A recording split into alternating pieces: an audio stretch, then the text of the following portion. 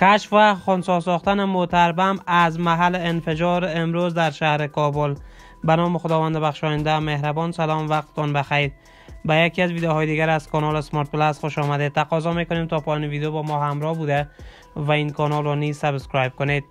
سیهوندری گزارش می‌دهد. نصرت رحیمی سخنگوی وزارت امور داخله می‌گوید که نیروهای امنیتی یک موتر بمب را از محل انفجار امروز شهر کابل کشف و خونسا کردند وزارت داخله اعلام کرده بود که در نتیجه یک انفجار انتحاری در منطقه چهارراه قنبر در مربوطات حوزه پنجم امنیتی شهر کابل پنج تن کشته و دوازده تن دیگر زخم برداشتند این رویداد حوالی ساعت هفت بامداد امروز سه شنبه 22 دلوه در چهارراهی قنبر در نزدیکی دانشگاه نظامی مارشال فهیم هنگامی رخ داد که دانشجویان وارد دانشگاه می شدند.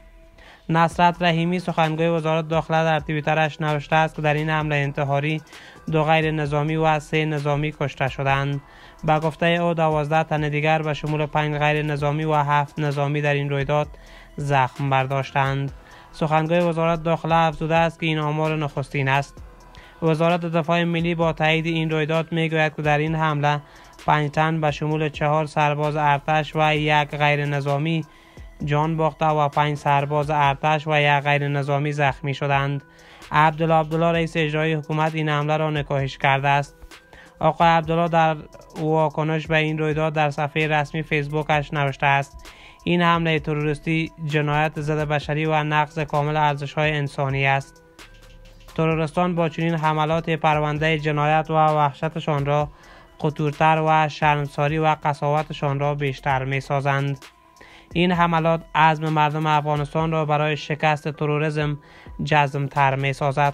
مسئولیت این رویداد را طالبان به عهده گرفتند وزارت داخله می گوید و در پایان ریاست امنیت ملی در یک خبرنامه می گوید که نو تن به اتهام همکاری با گروه داعش در یک عملیات نیروهای ویژه این نهاد در شهر کابل بازداشت شدند. تشکر از توجهتان تا ویدیوهای دیگر الان نگهدار.